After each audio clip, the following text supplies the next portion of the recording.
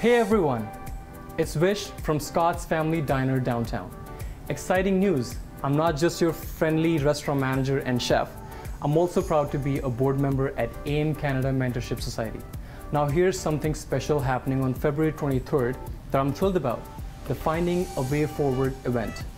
This event means a lot to me as it puts a spotlight on the critical issues our Kamloops community is facing, it be homelessness, drug abuse, unemployment, healthcare system struggles, and more. It's a chance for us to come together and discuss, share ideas, and find solutions. But hey, it's not all serious talks. We're turning this into an evening of warmth, connection, and fantastic food.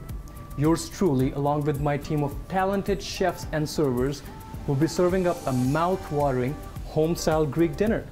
Picture this, succulent chicken souvlaki with veggies, aromatic rice, and my personal favorite, homemade delicious tzatziki. Now here's the deal. I want each and every one of you to be a part of this incredible evening. Buy your tickets at findingawayforward.com.